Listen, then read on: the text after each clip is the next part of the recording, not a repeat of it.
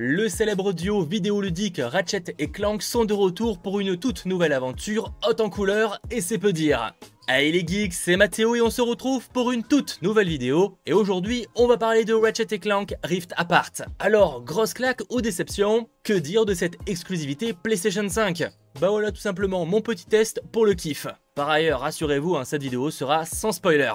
Déjà, ça peut embrouiller les nouveaux de la licence, comme moi par exemple, hein, j'ai connu la licence assez récemment, mais Rift Apart n'est pas une suite à Ratchet Clank sorti sur PS4 en 2016, mais une suite à tous les jeux sortis jusqu'à présent. La version de 2016 étant plutôt un reboot du premier jeu sorti sur PS2 à l'époque, avec tout de même quelques nouveautés. Pour autant, est-ce nécessaire de faire tous les opus pour comprendre Rift Apart? Bah pas forcément. Je recommande tout de même de faire la version PlayStation 4 parce que déjà elle est cool, c'est déjà pas mal. Mais en plus, on la retrouve pour quasiment rien que ce soit en ligne ou en magasin, voire gratuit il me semble sur PlayStation 5, le tout avec un patch assez récent en 60 fps et en 4K. Bon, la 4K c'était déjà proposé, mais en 60 fps, franchement, zéro excuse. Bref, ça permet vraiment de découvrir les deux personnages, celui de Ratchet et Clank, leur rencontre, etc. Donc vraiment un jeu à ne pas manquer. Surtout à ce prix-là. Et admettons que vous ayez la flemme, ce qui serait franchement dommage, mais pourquoi pas, il reste toujours le film animé qui en est tiré. Là aussi il est très sympa, donc matez-le. Ah, je pense que vous l'avez compris, c'est clairement un univers que j'adore, j'aurais beaucoup voulu en faire une vidéo encore plus complète justement sur cet univers, sur toutes les possibilités. Malheureusement en ce moment c'est un peu le rush niveau planning, du coup rassurez-vous, on va faire ça très vite, je vous tiens au courant. Et si l'idée vous plaît, n'hésitez pas à m'en faire part en commentaire. Quoi qu'il en soit, une fois que vous êtes initié aux personnages, que vous les connaissez, franchement vous pourrez apprécier Rift Apart sans aucun problème. Évidemment, j'imagine que les gros fans reconnaîtront bon nombre de références, comme certaines planètes déjà explorées par le passé, mais honnêtement, c'est loin d'être indispensable. Il s'agit là d'une toute nouvelle aventure avec beaucoup de nouveautés. Nous commençons alors avec Ratchet et Clank qui sont considérés comme des grands héros de la galaxie, même si visiblement ils n'ont pas fait grand chose récemment. A la suite d'une grande célébration en leur honneur, Clank remet à Ratchet un dimensionnateur. L'idée c'est qu'avec ça, il tente de retrouver d'autres Lombax, mais c'était sans compter le docteur Nefarius qui vient s'en emparer, provoquant un cataclysme dimensionnel, ce qui va séparer nos deux amis. Je n'irai pas plus loin dans les détails pour vous laisser un maximum de surprises, hein, ça c'est vraiment le tout prologue. Mais autant vous le dire, notre équipe va avoir fort à faire avec une grosse mission, sauver l'humanité. C'est même pas l'humanité carrément, c'est la galaxie, l'univers, voire les dimensions, bref un sacré bordel, ils doivent sauver beaucoup de choses. Alors que dire? Bah déjà côté histoire, on le voit souvent comparé aux meilleurs films d'animation, c'est totalement vrai. Il existe d'ailleurs un mode de difficulté où l'on ne peut carrément pas mourir. C'est vous dire à quel point tu peux juste profiter du visuel et de l'histoire. Bon après rassurez-vous, hein, les joueurs hardcore, il existe aussi des modes pour mourir souvent, ne vous inquiétez pas. Ce que je veux surtout dire, c'est que personnellement, étant fan d'histoire, de films, etc., c'est le genre de jeu que j'adore. Des personnages attachants, drôles, on voyage réellement, on découvre des planètes toutes différentes, allant du repère de pirates robotiques à des villes futuristes style cyberpunk, à des marécages.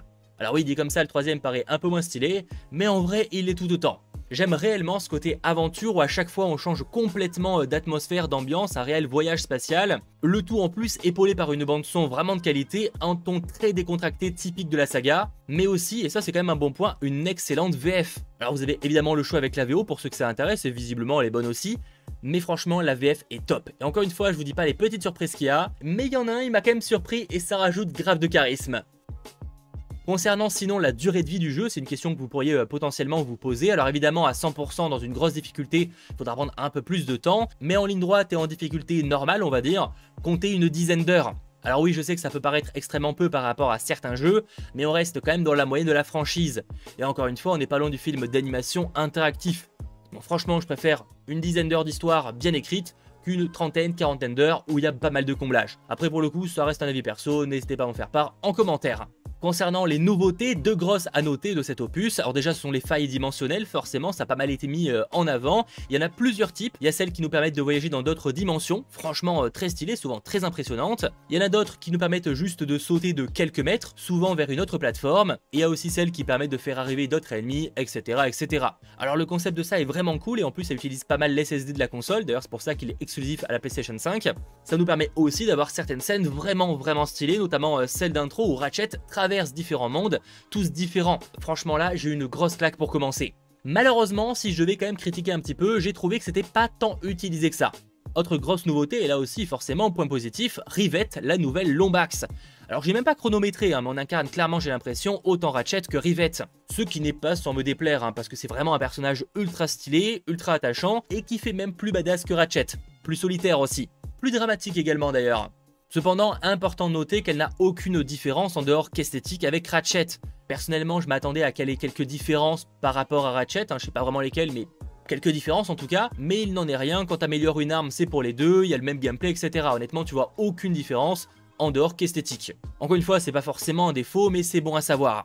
D'ailleurs, tant qu'on en parle, parlons un petit peu de gameplay, euh, justement, c'est clairement pour moi la force du jeu. Enfin, la force du jeu pour moi, c'est l'histoire, l'animation évidemment, le Troisième du coup, ouais bon dit comme ça ça paraît pas fou mais c'est vraiment très important et c'est vraiment un truc que j'adore dans les Ratchet Clank, c'est le gameplay. C'est toujours aussi plaisant, jouissif, quel kiff, c'est vraiment fun à jouer et en plus de ça très accessible hein, pour ceux qui souhaiteraient se lancer, qui sont pas forcément très adeptes de ce genre de jeu, c'est très accessible.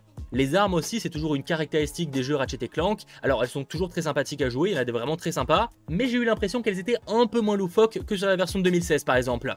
D'ailleurs, pour enchaîner, concernant l'utilisation de la DualSense, ça apporte évidemment un gros plus au jeu, avec des petites vibrations bien placées, par exemple quand on tire. De toute façon, la DualSense est clairement l'un des points forts de la PlayStation 5, hein. ça apporte énormément de choses et donc c'est bien exploité dans ce jeu. En revanche, à noter quand même que j'ai pas eu autant de sensations qu'avec un Astro Playroom par exemple, on avait carrément euh, le ressenti de quand on marchait sur du sable, du bois, etc. C'est pas à ce point là poussé. Autre bonne nouveauté aussi à ce Ratchet Clank Rift Apart, le dash. Ça permet de mieux esquiver les ennemis et franchement j'utilisais H24. Sans oublier évidemment ça concerne également euh, le gameplay, il reste extrêmement euh, varié avec différents types de niveaux, on n'a pas un jeu ultra répétitif, bon bah le kiff quoi. Dans les autres choses à aborder, évidemment, n'oublions pas les graphismes, hein, je vous le disais un petit peu, alors bon, enfin forcément, vous le voyez, je pense, c'est magnifique. Encore une fois, hein, ce serait un film d'animation que j'en serais ravi. C'est aidé d'une direction artistique vraiment très folle, à savoir par ailleurs que le titre est disponible uniquement en trois modes d'affichage, donc performance sans ray en 60 fps, que je vous recommande pas forcément. Performance avec ray tracing en 60 fps, ça je vous le recommande. Sans oublier pour terminer le mode fidélité avec 30 fps. Il est pour l'instant le seul à avoir le droit de la 4K native. Alors personnellement, pour vous donner mon avis, moi j'ai préféré le mode performance avec ray tracing en 60 fps.